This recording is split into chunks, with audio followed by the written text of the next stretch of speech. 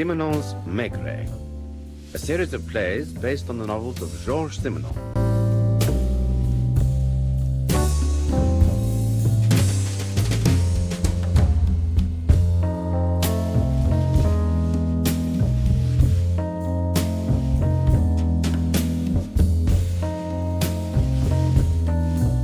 With Maurice Denham as Jules Maigret and Michael Gough as Georges Simenon.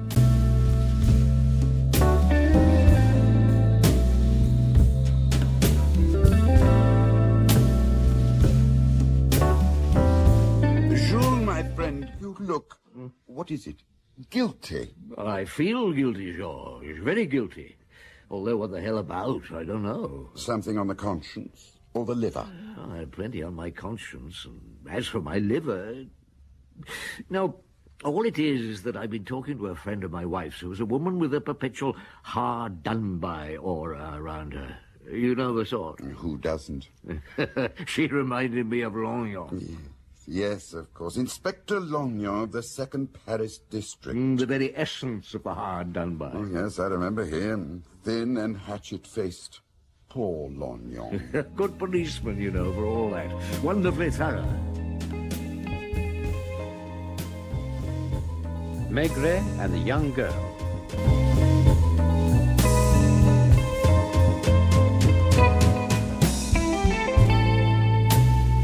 You have one particular case where you and Lognon followed one another around? Oh, that happened more than once. But I think I know the case you mean. That poor young girl, found in Lognon's district, on the pavement of the Place Vintimille, at three o'clock on a March morning.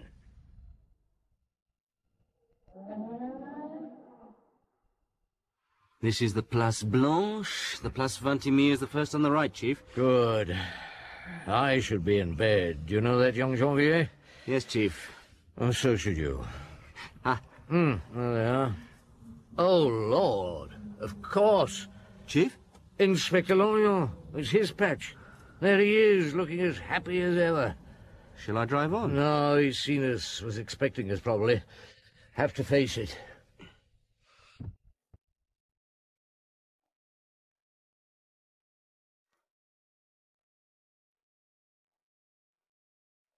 Good morning, Inspector Lognon. Good morning, Chief Inspector.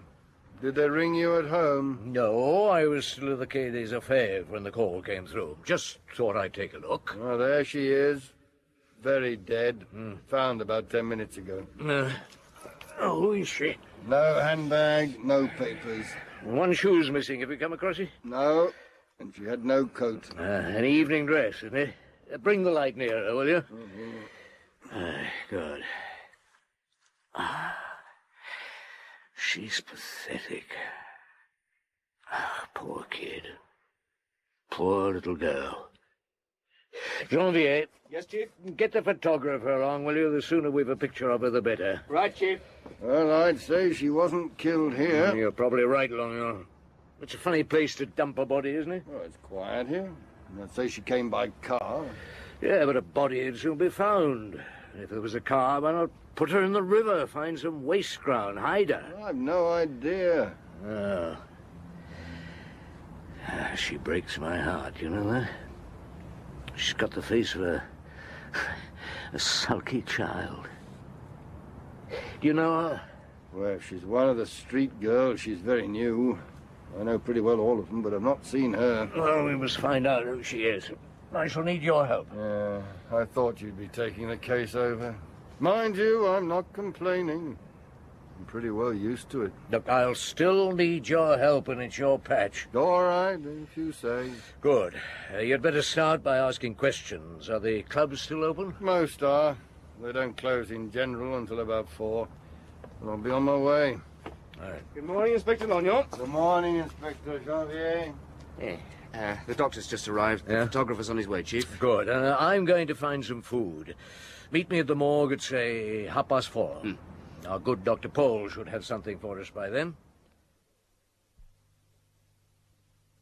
she was between 19 and 22 years old, in good health, but I'd say rather undernourished. Was she a street girl, would you say, Doctor? Oh, not this one. No, she'd never been to bed with anyone. Uh, how did she die? A fracture of the skull. Uh, she was struck three violent blows by something heavy, a tool or a cosh. And before she was hit, she was slapped on the face quite hard a number of times. I think she fell on her knees first and tried to cling to someone. So she wasn't attacked from behind? Oh, no. What do her hands tell you? Her hands? Oh, yes. Um, I don't think she'd ever done any real work. No typing or dressmaking or working in a factory. And uh, she'd done very little housework to speak of. I see. Oh, you'll let me have your report later today, will you? Of course, Maigret. Uh, but one thing you may like to know now. Uh, she had her last meal at about seven last night. She died around two this morning, and sometime just before her death, she consumed a good deal of alcohol. Enough to leave her fairly unsober, I'd say. So, we have a dead, drunken virgin on our hands. Perhaps she'd been to a party, Chief. Yes, quite likely she had. Well, thanks, Dr. Paul. Uh, thank you, Maigret. Uh, I'll find out what it was she drank and put it in my report. Right. Well, young Janvier, what do her clothes tell us?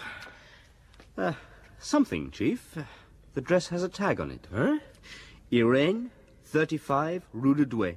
Just round the corner from the Place Vintimille. Well, that's something indeed. oh, it'll soon be dawn. I'm going to get some sleep. Uh, You too. A photograph will appear in the second edition. Somebody will recognize her, I hope.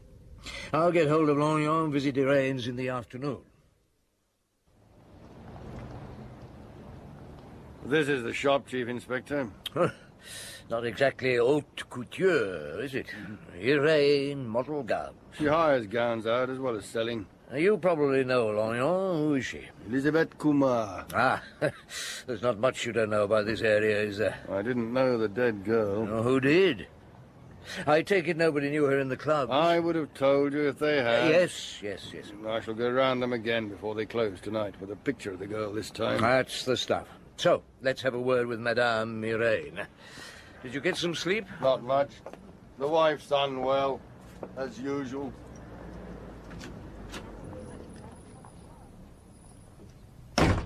Madame Irene? She's Mamselle. Who are you? Chief Inspector Maigret. Are you? I know who you are, misery Uh, guts. shut up, you young cow. Where's Mademoiselle Kumar? Where'd you think after lunch? Well, go and wake her up. It's important. She won't like it. nice girl. Yeah, she's her usual sort. Kumar calls them protégés. Saves them from the streets, I suppose. Did you see the pictures of the dead girl in the morning papers? Yeah, he's got one here. It's very recognizable, even with the bruises. Somebody will know her. Ah, she's awake. Drinks like a fish. Yes, our dead girl had been drinking. Rum, Dr. Paul reckons. Now, why, I wonder? And who would want to kill such a child? Why? I never think of it. What good does it do? Very little usually, I know, but this girl, to know who she was, you after this time? This is Chief Inspector Oh, I've heard of him. What's he doing with you? Inspector Lognon has a dress of yours. Hmm? This one. Hired out, I'd say. Mm, yes, I heard it out last night. I don't know her name, but I got a coat and dress because she had no money for the deposit. Vivian, my pet, get her clothes. Now, what time was this, mademoiselle? Oh, about nine. You're a fine figure of a man, aren't you? About nine. We don't close till ten. Eight till ten's our busiest time. Surprising number of girls suddenly find they need a dress for the night then. Here's her old things. Coat, homemade dress, handbag. Ah, give me the handbag. Mm, beside the dress, what else did you hire, mademoiselle? Oh, Dewey, how polite he is, old Lognon. A velvet cape and a little silver evening bag with a chain to it. Yeah, well, there's only a pencil and a pair of gloves in this well, one. naturally, she transferred things to the evening bag. Eh, What's happened to the cape and the bag? They've gone missing. The girl who hired them was killed early this morning. Oh, silly girl getting killed. Yeah. Have a look at her picture. Hmm? You've no idea who she was? Oh, that's her. She got bashed up. Oh, I never knew who she was, but I remembered her, though, when she came in last night. So did Vivian, didn't you? A stuck-up thing she was. Hmm. Like when she come in about a month ago for a dress. Eh, she hired that one then. Oh, she came in in the evening that time, too. She had some money and paid the deposit and brought it back the next day. Now, last night, mademoiselle, did she ask for that particular dress? She did. Oh, lucky I had it in. She changed here and left soon after nine. I watched her go down the street. Funny sort of girl. Well, was she nervous, excited, anything? Oh, she was like a girl in desperate need of a dress. You mean it was important to her? I mean, monsieur, it's always important to them. They're all the same. They must have a dress pronto or they'll die. She did. Come in. Ah, good morning, Janvier. Anything? Morning, Chief. Nothing. Not a sausage. Hmm. Oh, somebody must have known her. Must have lived somewhere.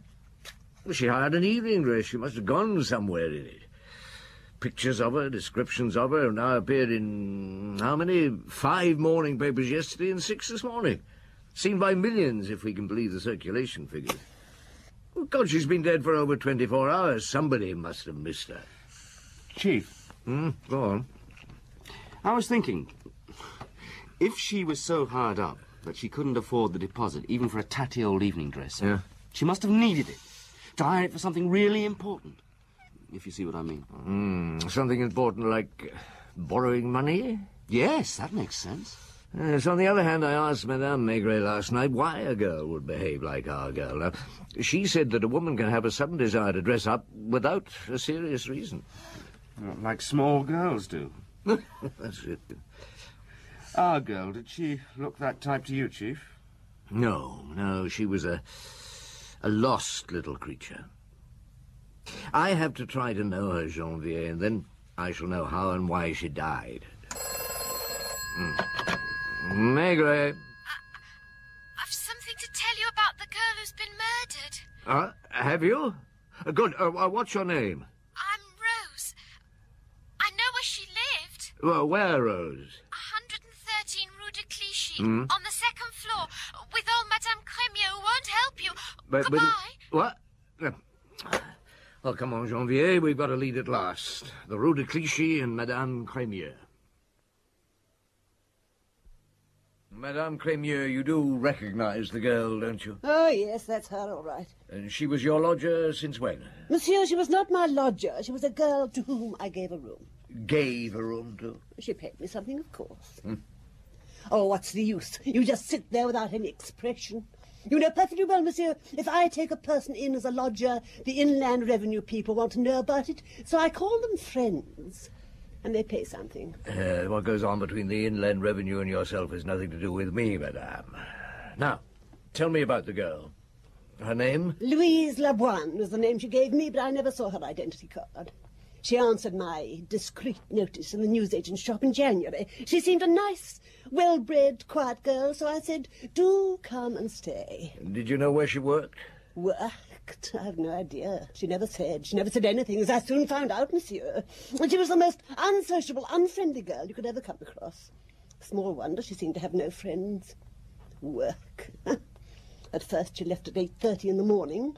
Then after a few weeks it was nine. Sometimes she'd stay in bed all morning. I asked her if she changed her job, but she wouldn't say. Wouldn't say. What did she say? She said nothing. That was her way. When she didn't want to answer a question, she would pretend not to have heard it and only look at one blankly and turn away. It was infuriating. Huh? Here's Rose, Chief. Ah, thank you, Janvier. Uh, come in, Rose. Madame Crémieux, this is Inspector Janvier. You're very young for an inspector, monsieur. Thank you, madame. And why is Rose with you? Rose, madame, was public spirited enough to ring us and tell us where the dead girl lived. She had no right to interfere. It was no business of yours, Rose. Why not? Because you'd kicked her out. Because you didn't want anything more to do with her. When did you kick her out, Madame Crémieux? I asked her to leave three days ago. She hadn't paid. Uh, the rent. Did she take her things with her? As a matter of fact, she didn't. When I told her to leave as soon as possible, she said, very well. That was all. And she went out and didn't come back. Hmm. Will you take Inspector Janvier to her room, please? Janvier, put her things together. Yes, Chief. This way, Inspector. I'll show you what she left. Thank you, Madame.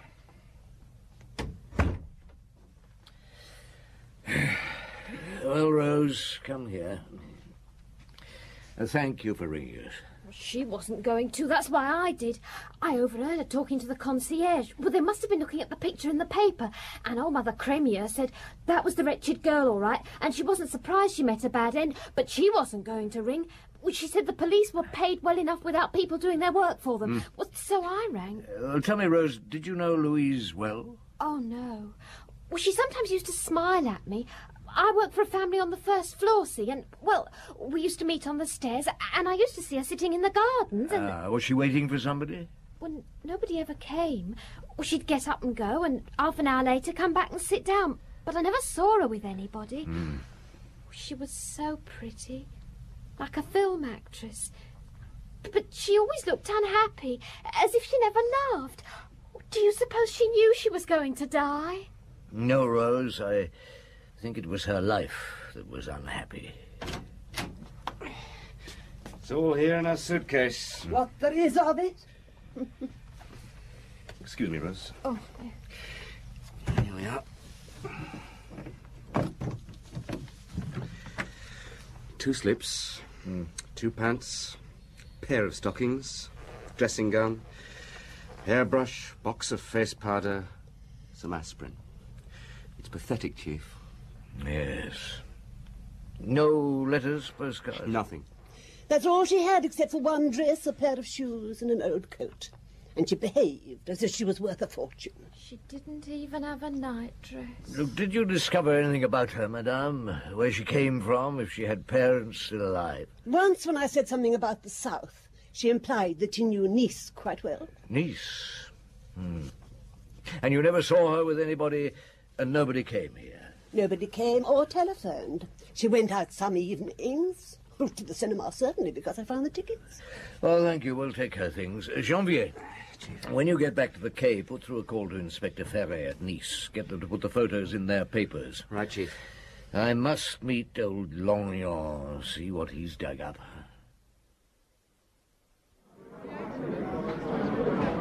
A glass of the dry white, Pierre. Uh, at once, Chief Inspector. Oh, and uh, Chief Inspector, there's someone waiting for you over in the corner. Ah, yes, thank you.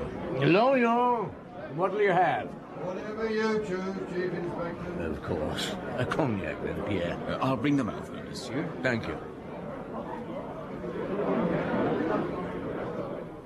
Have you been here long? Uh, it doesn't matter. I managed a few hours' sleep.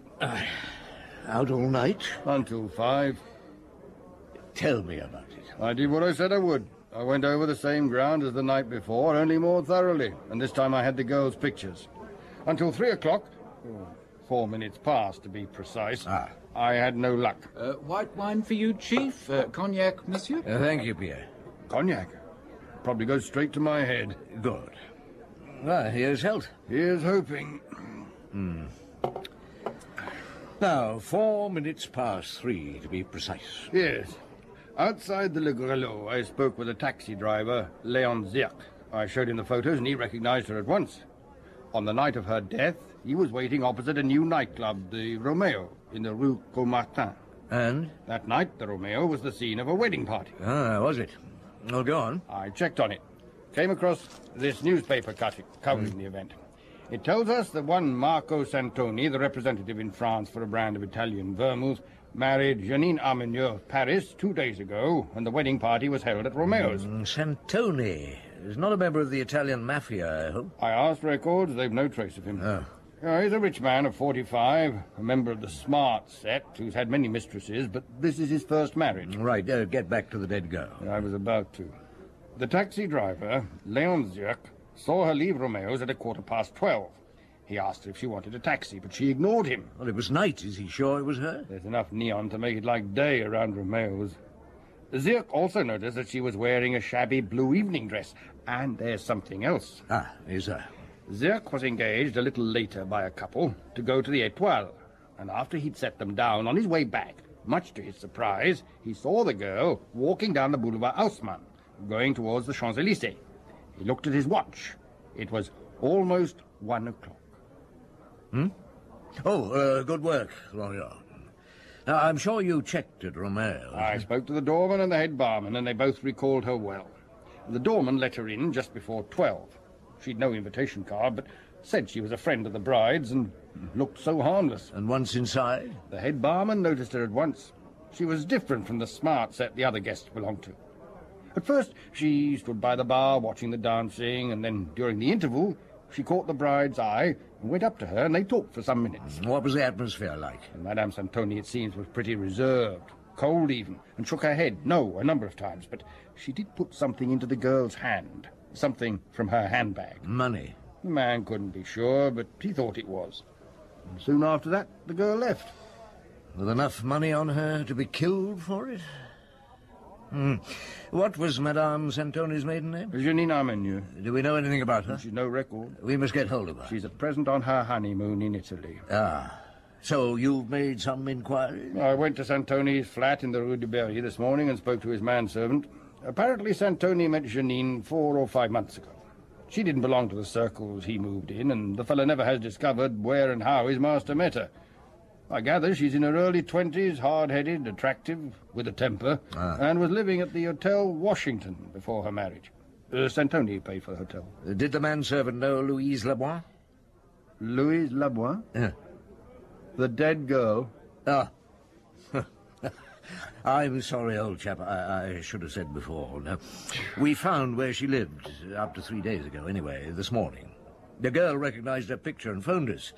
She was known as Louise Laboine, and it's possible she came from Nice, Janvier's chick. And this girl who recognized her knew all about her, I suppose. No, she never spoke to her. Nobody knew a thing about her. Now, I can only hope that your Janine Armenieux will know something. Did the manservant know Louise? No, he was sure she'd never come to Santoni's flat. Hmm. Well, thank you, Lognon. Fine work. Uh, another cognac. No, thank you, Chief Inspector. I have a few more inquiries I'd like to make about Janine Armenieux, where she lived before the hotel and so on. So, uh, if you would excuse me. Yes. I remained there in the bar trying to understand. Do you understand, my dear Georges? What you were trying to understand? I think so. And I've seen you before when you're concentrating in that manner. Yeah, I know my poor wife has suffered for years. But this girl, Louise, had somehow become very close to me. If I had a daughter, this sort of girl, why should she die? The way she did. A girl who came to Paris, is alone in Paris, knows not a soul but Janine Santoni. And Janine, by all accounts, is a very different sort of girl from Louise. Mm, so they probably knew each other before Paris. Could be. Louise has no money, no prospects, no job, and nowhere to live. She was kicked out by Madame Cremieux in the morning, surfaced in the evening at Irene's, went to a wedding party at midnight, was seen walking in Paris at one in the morning. And was dead by two. So there is an hour to fill in. And during that hour, she drank quite a bit of rum. Hmm, so she went to a bar. I can't see her walking into a bar at that time of the morning alone. Can you? Perhaps somebody was with her. Well, according to Lognon's taxi driver, she was alone at one. Now, perhaps she had a reason for going into a bar. And what would that have been? I had no idea. Well, for a couple of days, old Lognon ploughed his way through Janine's immediate past.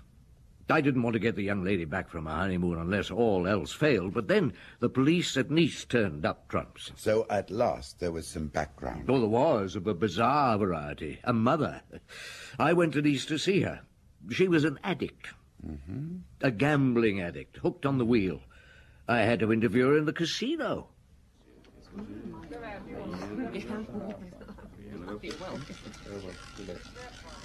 Dead, you say?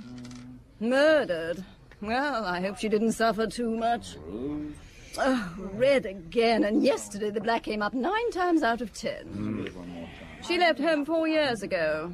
I never heard from her more than a couple of times. She once sent me an address, care of a Janine, somebody or other. I never knew her. Janine. No. Ah, I used to be a dancer, you know. Folies Bergère, South America, Middle East. I met her father in Istanbul. A Dutchman. Julius van Cram. Ah, look. The black for once. I might break even today after all.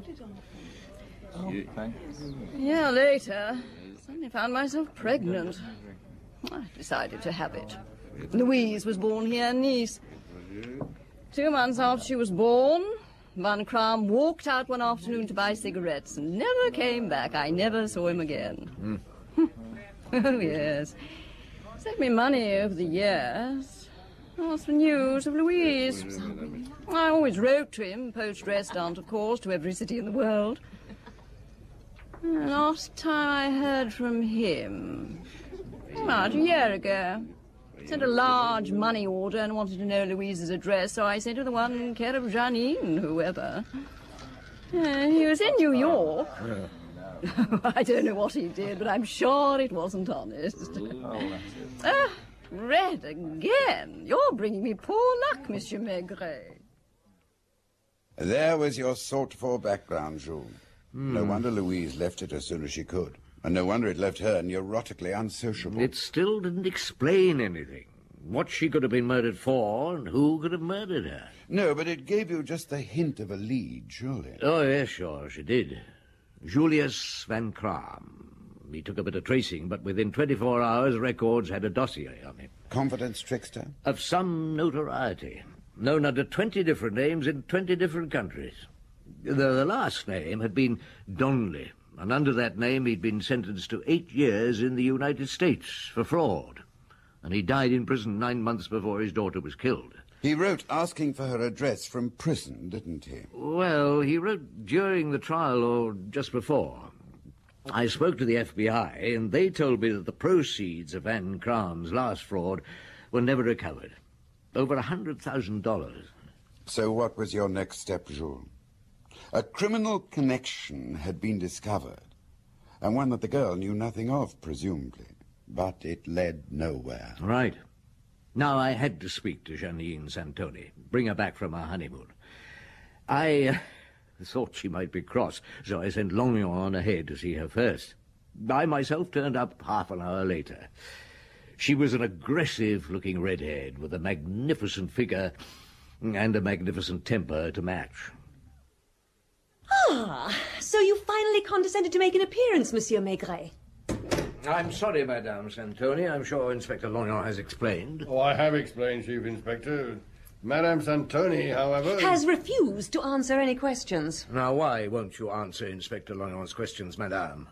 Have you something to hide? Of course I have. What woman hasn't? Well, my questions were not at all personal, I can assure you, Chief Inspector. They referred entirely to her relationship with the dead girl. I didn't answer his stupid questions because I felt that a woman of my social standing should be questioned by the leading chief inspector, not by a subordinate. Social standing, yes, of course. Inspector Lognon is not strictly a subordinate of mine. He is from a different district, the district in which Louise Laboine was found dead. Well, the man looks like a subordinate. Uh, the Chief Inspector was only being tactful. The Chief Inspector will become less tactful unless you both stop being ridiculous. Good. Now, Madame, how old are you? Hardly a day over twenty, I'd say. Twenty-one, monsieur. And do you want the age of my grandmother? In a moment. I shall call you Janine. It suits you. Tell me about Louise, Janine. Have you known her long? Four years. She was sixteen, I was seventeen. We, we both left home. We met on the night train from Nice to Paris. We had to sit up all night, so we told each other our life stories. In Paris, at first, you stay with your aunt in the Rue de Chemin Vert. You left after a few months after a quarrel about a girl whom your aunt found under your bed. So, you've seen my aunt, have you? Well, you don't want to believe all she said about me. Look, I didn't come to Paris just to work in an office or a shop, or to marry a clerk or a shop assistant. The girl under your bed, I take it, was Louise. Naturally. Everything connected with Louise was disaster. She lost the job she had in a shop in no time. She said the boss made a pass at her. so she was slung out of her cheap hotel. She turned up at my place and asked to stay. I hid her in my room, and when my aunt came in, she went under the bed. My aunt might have taken pity on her, but when she found Louise, being Louise, she wasn't even apologetic or anything, just coldly matter of fact, insolent almost. Mm. You then took a flat in the Rue de Ponthieu. And Louise came too. I didn't want her. Wasn't always convenient for me to have her there. She didn't seem to mind. She'd sit in the tiny kitchen for hours. Did she find another job? Oh, she had various jobs, none of them any good. None of them lasted more than a few weeks. Louise wasn't trained to do anything, and I honestly think she didn't want to do anything. Oh, she was pathetic, Monsieur Maigret. People said she was shy, but uh, that wasn't the truth. She had no love for life. Perhaps that was what it was. Hmm. How long did you stick together, Janine? Almost three years, and stick is the word as far as Louise was concerned. She never paid a penny towards the rent, and oh, in the end, we weren't on speaking terms. Then I met Marco, my husband, and I moved out and went to a hotel. So she had to leave the flat. I don't know where she went, and I didn't care. Mm, did you see her again before the night of the wedding? No. But she tried to see me. My husband took me to Maxim's a lot, and that got into the gossip columns. She turned up there one evening, the head waiter told us, you know, wearing a, a tatty old blue dress. Oh, typically Louise. Asked for us, and when she was told we weren't there, just walked out without a word. Uh, she came to your wedding party in the same dress. It was hired. And it looked like it. She wasn't invited, of course. Oh, she looked quite awful. Now, what did she want? Money, of course. I tried to tell her I couldn't help her now I was married. It was different. My husband didn't want me to have anything to do with her in future. But you gave her something, didn't you? What I had in my bag, and... Oh, and I told her about the letter, which is why she left at once, I imagine. A letter from the United States, was it? I don't know. Uh, this one was left by a man. Uh, I was coming to the letter, Chief Inspector. You do dig around, don't you? Doesn't he? He's a good detective. Go on, lawyer.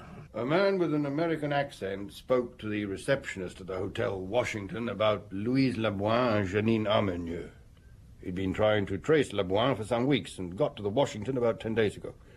Two days later, he came back, said he had to leave Paris, and left a letter for Laboine, care of Mademoiselle Armenieux, as she then was. Did you give Louise the letter, Janine? How could I? I had no idea where she was, and I didn't have it with me at my wedding. But you do still have it. Somewhere in the flat. Look, I was preparing for my marriage, monsieur. my husband made me open it, though. He was suspicious of it. Italian men are very jealous. Now, what did it say? Oh, roughly, uh, not word for word. Um, uh, I have a very important message for you. I must see you as soon as possible. Ask for me, um, uh, Jimmy, at Pickwick's Bar in the Rue de l'Etoile. Oh, and then there was a sort of postscript. Uh, I have to leave Paris. I'm leaving the paper with a man who runs Pickwick's, uh, Albert. Uh, he'll ask you to prove your identity. It's important. That was all. Ah, Lognon, go to Pickwick's Bar. I know Albert. He has a record. The bar is used by some of the Corsican fraternity. Get what you can out of him. I'll be along as soon as I can. I'll have a Pernod, Albert. Uh, yes, Monsieur Maigret, uh, Pernod. Where is he? Oh, Lognon? Oh, we left ten minutes ago. Huh? Where did you send him? I sent him nowhere. Uh, Pernod, Monsieur. Thanks. Now, did you recognize the dead girl from the photo in the papers? Oh, don't often bother with the papers. When she came in here on the night of her death, was the place full? Monday? Oh, very full. At about one o'clock. I didn't look at my watch. Uh, what did she do? She sat down on the stool at the end of the bar. Hmm. Did she order a drink? Yeah, I think it was uh, rum. And she asked if you had a letter for her? Yeah, that's right. Where did you keep the letter? Uh, there, between those bottles. Uh, nobody asks for them. And so you gave it to her? No, I asked to see her identity card. Ah, yes, those were your instructions. They were. From Jimmy? From Jimmy. Did you tell Inspector Lognon this? Most of it, if he asked. So you gave her the letter once she'd identified herself? That's right. Her identity card was in her handbag, was it? Where else? A small silver evening bag with a chain. I don't remember. Did she open and read the letter in the bar? No, she went downstairs. Where the toilets and the telephones are. And then she came back. Yeah, uh, to the bar. Hmm. And ordered another drink. No, the American did for her. The American? Not Jimmy? Mm, not Jimmy, uh, a tall, young chap uh, with a lot of red hair. Uh, did this tall, red-haired American have a name? Frank. He uh, used to follow Jimmy around. But when Jimmy went back to the States, Frank stayed here. Well, he was here that night. And he picked Louise up. Did she seem to mind? Hmm, She let him buy her a couple of drinks, and they talked. Did they leave together? Yeah. What time? Oh, to guess, I'd say um, coming up to two. Hmm. Have you seen this tall, red-haired American since that night? Oh, he hasn't been in this bar. Have you any idea where he is? I told old Lognon. The American asked me about Brussels. He said he was going there. He wanted to know about an hotel. I told him I always stayed at the Palace by the Gare du Nord. I see. Get your coat, Albert. Lock up the bar. You're coming with me to the Quai des Orfèvres. Do you want Albert Falcone in now, Chief? Yes, Janvier. Have you traced Lognon in Brussels? Yes, Chief. He's uh, at the Palace Hotel. And he's not found the American. No, not one that fits the description, Chief. Hmm. I didn't tell him there wasn't one, but I think he guesses. I only said you'd made an arrest. Oh, that went down like a lead balloon, I'm sure. He, he didn't ask who, just said he'd get the night train back. I'll bring our friend Albert in. Hmm. Yes, it'll take me a long time to live this down in Lognon's eyes. It Was his own daft fault believing stories about tall, red-haired Americans rushing off to Brussels to find them. But it'll be me who'll feel responsible. And guilty. Here he is, Chief. Ah, come and sit down, Albert. No, you stay, Janvier, and shut the door. Right, Chief. Now, Albert. The truth? How did you guess?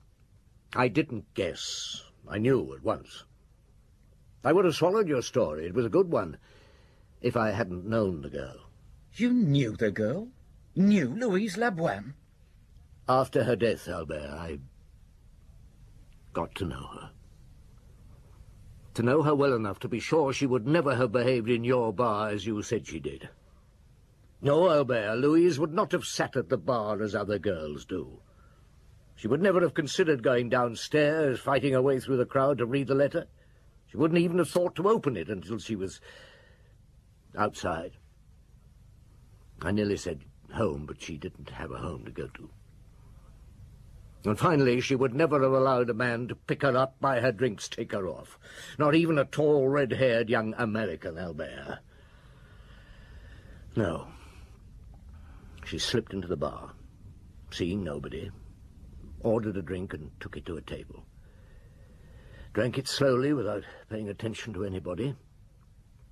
Then she went back to the bar, ordered another drink, asked you, Albert, for the letter, showing her identity card. You gave it to her, and you probably said, Don't open it here, although you had no need to. She took the letter and the drink back to the table.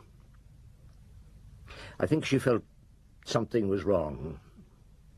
She would. She felt threatened, and she had to have one or two more drinks before she could find the courage to leave. So she was a little drunk, and her senses were not so prickly when she left, probably to find a cheap hotel for the night. You know the rest. You must have been there. I have been since her death. What did the letter say, Albert? It was from her father. He asked her to forgive him for his neglect of her, and he said he'd be dead by the time she received this letter.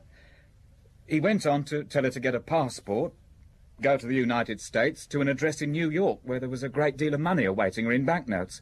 But as nobody knew her, she must turn up with the letter and her passport. You had the letter? All you needed was her identity card to get a passport in her name. We didn't mean to kill her. No. I'm sure you didn't. Who were the others? Bianchi, the Corsican, and Tattoo Jack. Oh. Well, they were outside in a car. They let her get on a bit, drove past her, stopped, and waited for her to come up to them. Bianchi got out of the car and made a grab at her handbag, but the chain on it was around her wrist, so he tried to pull it free.